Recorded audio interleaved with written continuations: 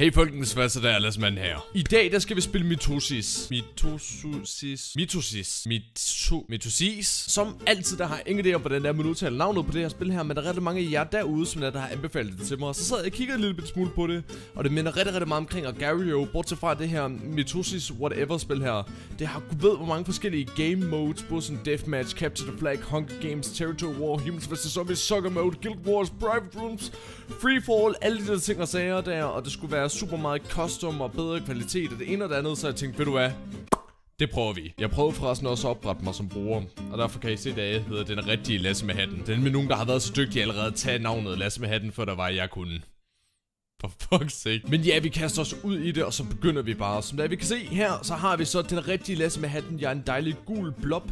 Jeg er level 9. Jeg har lige spillet det en enkelt gang, før der var, at jeg satte mig i gang med at optage. Og åbenbart på den enkelte gang, hvor der var, jeg sad og spillede, der kom jeg både op på leaderboardet, og jeg fik åbenbart nok XP til, at der var jeg lige pludselig sprang fra level 1 til level 9. Så hvad skal jeg sige? Jeg er jo rimelig trænet efter at have spillet en hel del af Gario. Generelt det, det her spil her, det minder bare meget med Gario, bortset fra, at, at kvaliteten den er bedre, og det er sådan det samme princip. Man kan sådan lidt mere ændre på tingene. Man kan også godt have power-ups, sådan så der man bevæger sig en lille smule hurtigere, så der er, at man deler så hurtigere, sådan så når du deler det op, så går du længere. Og alle sådan nogle ting og sager. Så generelt, der skal man bare se det som en opgraderet version af Agario. Og eftersom det er det minder så meget om Agario, så skulle jeg ikke blive overrasket, hvis det ender med at rage rigtig, rigtig meget over det her spil her. Kan I forresten se, at jeg har fået en, øh, jeg har fået en klipning, så nu mit hår det er sådan dejligt kort, og nu har jeg ikke sådan en mega, mega lang svenskernakke, som du var, det jeg havde førhen. Oh my god, Lasse, du er stadigvæk mega grim. Jo, Nej.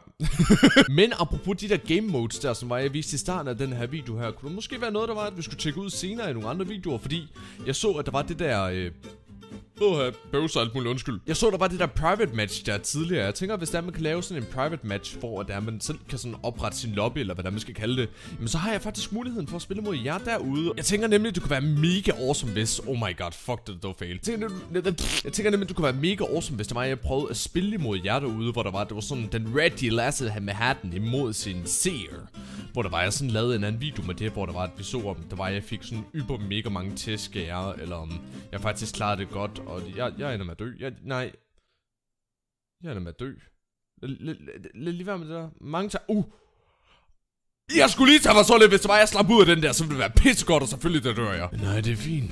Det er fint, jeg fortsætter bare. Det er noget pis, det her.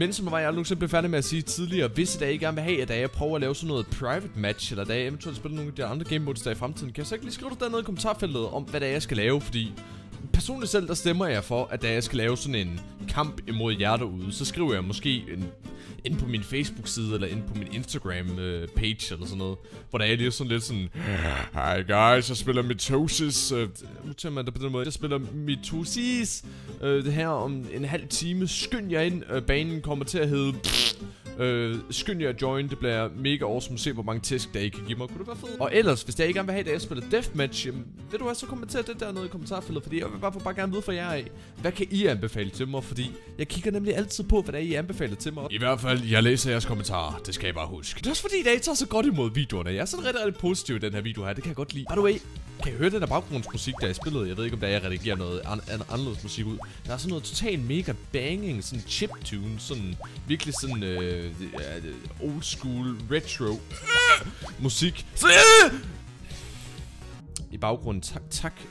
Dræb mig imens da jeg snakker pænt omkring musikken, det er en god idé. Det er helt cool, at det heller ikke skal være alt, alt for let, fordi sådan er livet bare. Nogle gange, der skal man møde nogle udfordringer, ikke? For det er, at man kan komme videre i livet sådan. Man skal igennem et par bump en gang imellem. Men jeg synes,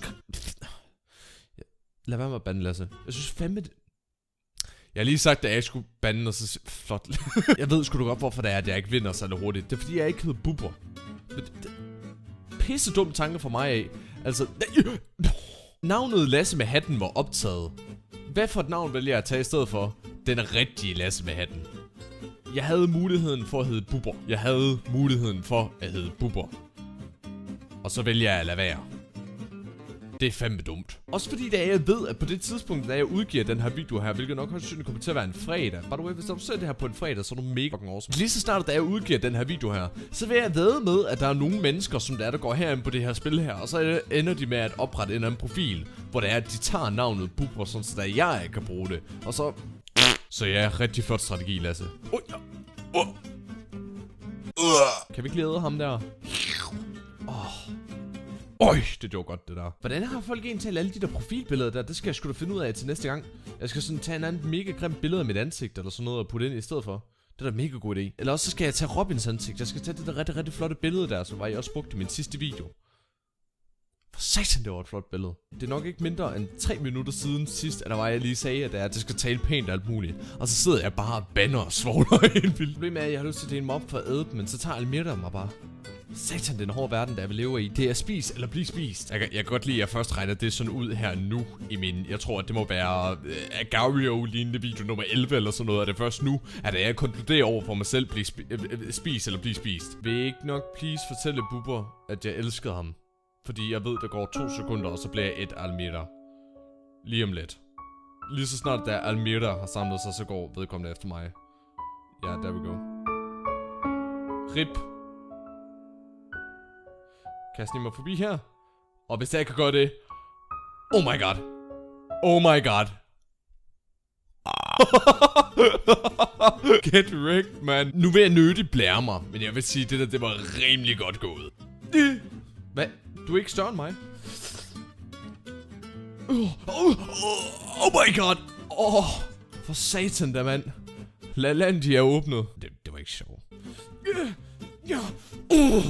Så godt det der. Måske er årsagen til, at jeg ikke klarer mig så super godt igen. Det har måske noget at gøre med, at jeg kun har de der starter items. Der er som det her starter svager og de her starter boots og sådan noget. Fordi der er sådan noget med, at som sagt, man kan blive boostet af de her items her. Sådan at der man har currency, man har altså mønter herinde i spillet. Og sådan i takt med, at der man bliver højere og højere level, så kan man få bedre og bedre items. Så måske kan det være derfor, at jeg ikke klarer mig så super godt igen, sammenlignet med så mange andre. Ja, ja, Lasse. Bare giv spillet skylden. Det er bare fordi, du er pisse dårlig. Okay. Rolig, rolig.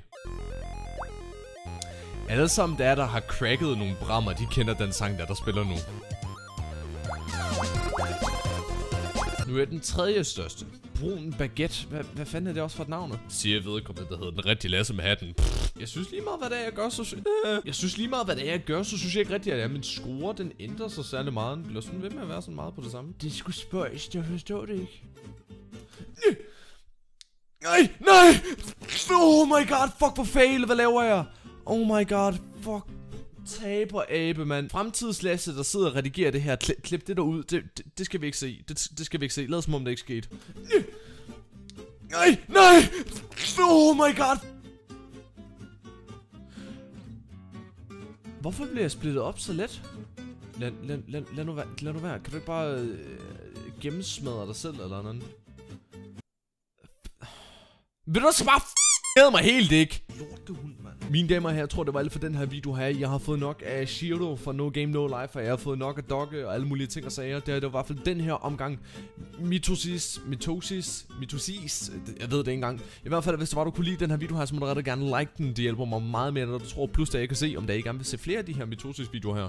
Fordi jeg tror virkelig, at nogle af de her anderledes game modes her, som det er, at man kan sidde og spille, de, øh, de kunne være super, super interessant at spille. Jeg kunne måske også godt prøve at spille spillet inde på, uh, inde på App Store eller Google Play, inde på ens Android-telefon. Jeg sidder og spiller det på Steam lige nu, og sådan lidt af hvert, så det er også cool nok. Hvis du ikke kunne lide videoen, vil du også bare give den et dislike og skrive dernede i kommentarfeltet, hvorfor du dislikede. Jeg kan nemlig på konstruktiv kritik.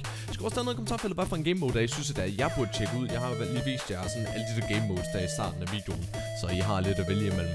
Og ellers, så bare husk at klikke abonner på den her video her, hvis du gerne vil have notifikation næste gang, der lægger en video ud. Og med det sagt, så gider jeg ikke at rage mere. Og pøj pøj pøj. Um, die. Denne gang bliver jeg anbefalet, at du skal holde dig væk fra de der pellets der. Og så giver hun mig bare det gudske smil igen. Hvad fanden? Har I savnet i dag, jeg snakker med Ivy, fordi jeg har ikke snakket med hende i et minut, og hun begynder allerede at sige til mig, at jeg skal tage af.